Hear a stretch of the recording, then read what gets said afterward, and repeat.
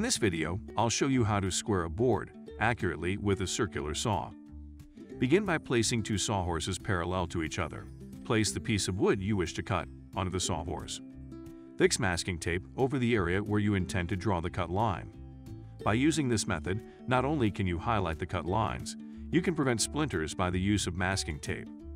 Using a pencil or marker, draw a line perpendicular to the shorter edge of the board with the help of a speed square. Extend a line till the end of the board using a level or ruler. Plug in the circular saw and align the saw blade with the cut line on the board. Turn on the saw and begin ripping along the line. If you have a straight edge, you can use it for guiding the circular saw.